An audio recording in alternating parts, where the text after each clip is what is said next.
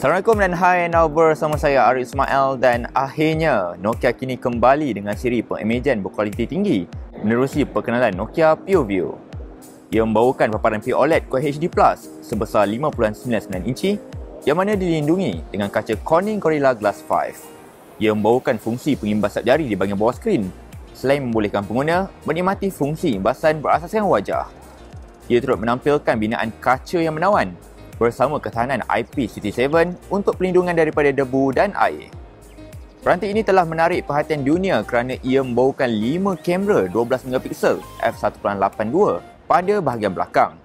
Ia tidak membawakan sensor telefoto, ultra wide angle tetapi sebaliknya, ia membawakan 2 kamera berasaskan RGB dan 3 kamera berasaskan monokrom.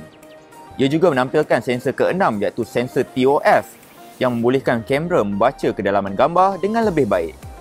Dengan sistem kamera yang didatangkan ini, ia mampu menawarkan 12.9 stops of dynamic range selain mampu menyatukan data kedalaman suatu gambar sehingga 1200 lapisan.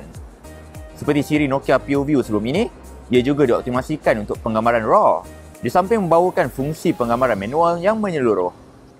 Kamera hadapannya hadir dengan sensor 20MP f1.8 dengan menyokong teknologi tetracell pixel binning untuk pengoptimasian gambar ketika waktu gelap.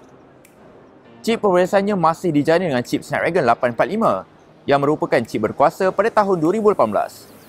Walaupun tidak dijana dengan chip Snapdragon 855, chip ini masih menawarkan prestasi yang pantas untuk menggalas tugasan harian atau memainkan permainan.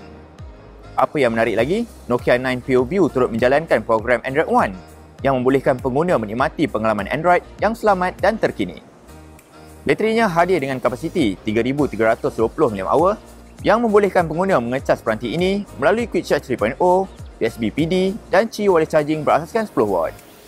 Harganya telah diumumkan pada harga 699 US dollar yang mana ia boleh didapati bermula bulan Mac ini.